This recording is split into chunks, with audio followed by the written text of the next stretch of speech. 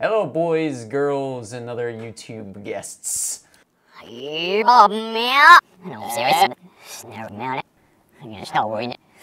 Vlearning with Bobby and Brent. This is all a dream. Hey, everybody, welcome back for another episode of Vlearning, the show where we teach you how to do video editing stuff and we make jokes and act like big, dumb idiots the whole time. And I'm suppressing a sneeze right now. Okay, I'm all right. I'm all right.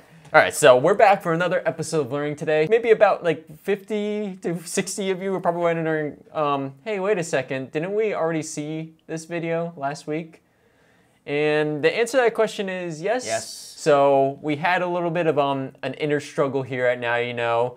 After much discussion, debates, fighting, both physical and verbally, and probably the most epic game of sudden death elimination Chinese checkers you've ever seen. Oh, yeah, it was we, intense. We decided to pull last week's episode. As sad as it was, we had some trademarking issues. Yeah, with we, we had graphics yeah we, we we did some stuff with uh, a little show called Avatar: The Last Airbender that was in a, a bit of a gray area, and we decided it was best to just pull the episode. So. For those of you who already saw this tutorial last week, I'm sorry we're doing it again because we feel like it's a worthwhile tutorial. Part Part deux. part deux. Deux. Part deux for Yeah, you French folk out there.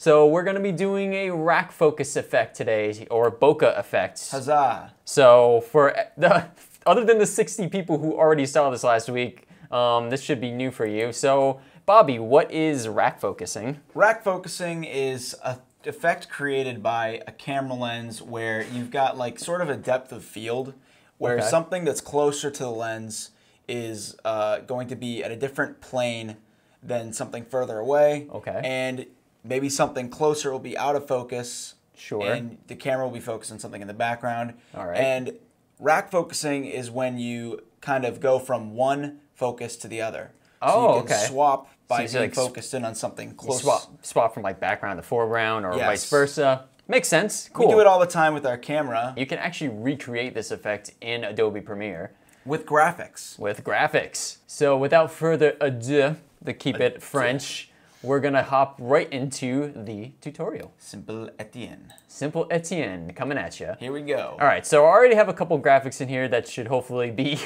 safe from any copyright worries. We got um, just a generic uh, cityscape behind us, and we got a nice uh, white Model X in the foreground here. Ooh, look at that. So right now, you'll notice that everything is kind of like in focus right now. So we don't want that. We want to create some sort of um, out of focus effect. And the way we're going to do that is we're going to come over to our effects area. We have our two layers here. We're going to go search in our effects for a blur. Blur, Now there are multiple kinds of blurs that you can use, as you can see. I enjoy using fast blur. I do too. I think fast blur is the, the most uh, quality blur. I, I would quality. agree. I would agree, and also, it, it, as its name suggests, it is a fast blur. Yes. So it's a little bit of a quick blur. You know, you don't have to too many parameters to deal with. It's pretty straightforward. As you can see here, I just dropped my blur, fast blur effect onto my background here. It's not doing anything quite yet, so we're gonna wanna do something about that. So to start, I'll click on my little stopwatch here to toggle animation slash so I can add some keyframes. Ooh. And I'm going to start at the beginning of my clip here, and I'm gonna turn the blurriness up so that it looks out of focus. So let's go somewhere like that. That Yeah, looks pretty, looks good. pretty good. So we got our Model X here in focus and our background out of focus. So next thing we're gonna wanna do is we're gonna go forward in our timeline a little bit. Let's try maybe right here. And I'm gonna add another keyframe and we're gonna change our blurriness level to zero so that it's back in focus. Ooh.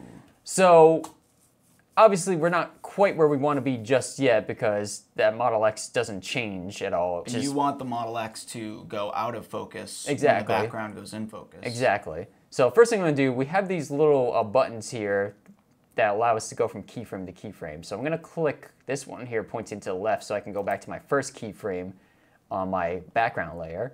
Now I'm gonna select my Model X here. I'm gonna again drag a fast blur onto it, add another keyframe, and I'm gonna leave it at zero for now because I want it to stay in focus in the beginning.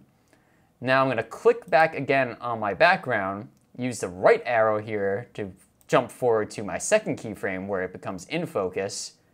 Now, here's where the real magic happens. I'm gonna select my Model X layer again. I'm gonna set to eight, that looks pretty good. Yeah, now the good. Model X is out of focus.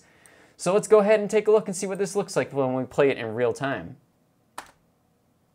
Oh, would you look at that? Yeah, that's pretty nice. I'm actually, I might even go a little more subtle with it and drag this out a little bit more. So I'm gonna move this keyframe a little bit farther forward. I'll hit my right arrow to fast forward to it. I'll go mm. to my background layer again so that I can snap to that same point. That's a good way to keep make sure that you're always. Yeah, you so everything up. stays where it needs to be. So let's try this again. So we'll get Model X in focus, background out of focus, and let's play. We get this Oh, really subtle that. shifts That here. looks really good. This is the way that you can recreate this effect in Adobe Premiere with some graphics. So it's a pretty cool thing. Yeah, I think it adds a lot of flavor to, to your graphics. And if you're doing something kind of, uh, you know, maybe like a little sketch using graphics, it kind of creates this nice little uh. Effect to make it look more realistic. Yeah, and we're all about flavors here. Flavor flavor. We love flavors. Um, we enjoy bold flavors. I enjoy grape, orange, anything. Purple drink, purple Citrus. flavor, anything, all the flavors, really. All I right, that's, a really helpful tutorial. Uh, if you guys liked it, make sure to smash that like button. Smash. And make sure to subscribe for our other videos. We do weekly tutorials Yep. on video editing, in depth on Mondays, Yep. which talks about Tesla news, as well as Tesla Time news on Tuesdays. Right, yep, in depth, we kind of go, we pick one story and we spend a lot of time on it so that you can really get into the nitty gritty or in depth. Yeah. as you would. And then Tesla Time News, we kind of go over all the stories of the week regarding Tesla, EV, solar power, all that good stuff. And um, We also do some gear reviews. we do some gear reviews from time to time. So if you're like, into that sort of stuff, you can check those out. Uh, we do a bi-weekly movie show where we watch Yeah. different movies and we discuss, debate, and sometimes uh, agree, disagree, um, get heated.